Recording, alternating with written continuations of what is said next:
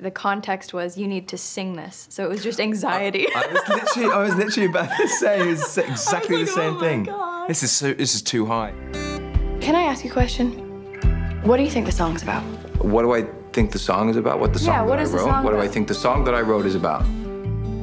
How did you really like get yourself ready to become like these 70s rock stars? We all got cast just before the pandemic, and at that point, we all had a different distance to go. Like some of us had no experience, some of us knew a little bit, some of us knew a lot. And in all honesty, I think one of the best things to have ever happened to this production was the fact that we had like a year and a half delay, and it meant that we could all get up to speed and get to the same page. So when we kind of finally came back together for like this intensive sort of three months band camp before we started filming, that consisted of band rehearsals where we'd have individual lessons and then we'd all come back and have a jam and sort of play through the songs and then me and Riley would be singing.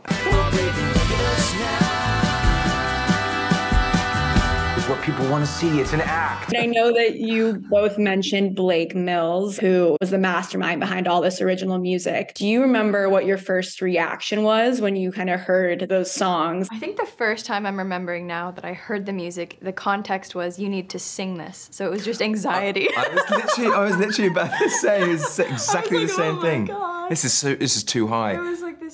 I was like, this is really. I was like, how do I? I don't. I. I don't know if I can do it. Do you remember having that meeting with Blake and Tony and Frankie, I think, and Ryan, and we were all sat in this in, in a studio, and me and you were basically going, "I- don't think I can sing this. This is too high. This is I, this is way too high. I can't ever get that." And they were all I- I, like, think they were going. Hmm. Oh crap!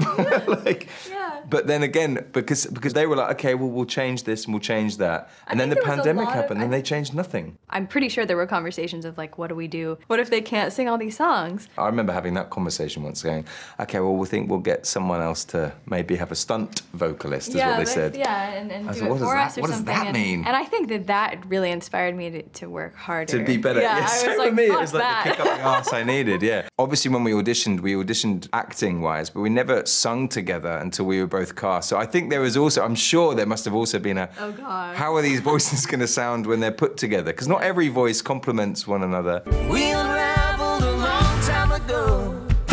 We lost and we couldn't let it go. Oh my god. But I remember doing that first singing lesson with Eric Vetro, the joint one. Mm-hmm. And that was another reason why I was giggling. So it was like a wow, like, wow. yeah, we there met she like once, and then we walked into this It's room and had to like sing Aurora together. They wanted us to work on our singing chemistry very early on. From I day think from day yeah. one, and so we just kind of met, and then we're like put face to face, and they're like sing at each other. This is a direct quote from Frankie Pine, and she said she'll never forget when she first heard you guys sing together because it was that good. I think that was the first moment where I saw that we were both on exactly the same page, and I was yeah, like, we were ah. both like, we don't know. But it's also sing. like the pressure kind of got lifted a little bit. It was like, okay, it's not just all on my shoulders. It's not me miles behind everyone else. It was like, okay, we've got this together. We're going through this together. And I think there were moments, like when I think back to band camp, there'd be a week where like I knew a song better than Sam, and then a week where Sam would be much better than me, and I was like, oh, or like I'd forget my harmony, or like it was just constantly a struggle. We pushed each other to Yeah. kind of get better, though, Yeah. in a way. It's, I don't know. It was like a, a, a team effort. How did you kind of feel yourselves meld with your character, if at all? I think that, that naturally just happens. You sort of take on that person's essence during the shoot. I think there are so many conversations that Billy has in the story that I'm like, okay, I've, I've been here before. And some of them, like, so, so much so that it was, it was actually quite emotional revisiting certain things. That struggle is very real and very relatable for not even just in the creative world, but like whatever capacity of work you might be in.